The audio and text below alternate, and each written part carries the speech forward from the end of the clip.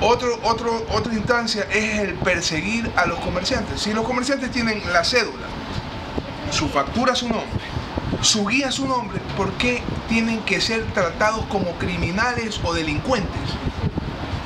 Si están haciendo un tema legítimo. Ellos tienen que pedir la información primero. Nosotros el día de ayer hemos presentado una carta formal a la gobernación con todos los abusos que se está haciendo contra los comerciantes y pidiendo que se, que se va a resolver con el tema de la feria de fuegos artificiales.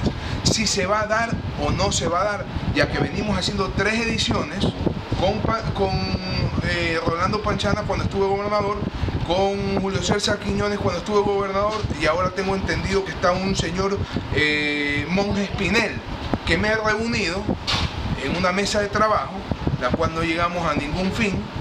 Eh, ¿Cuándo se reunieron? Hace una semana. Ahí hablaron sobre la feria. Hablamos, no, él hizo una gran exposición con todas las autoridades presentes, pero parece que desconocía el tema.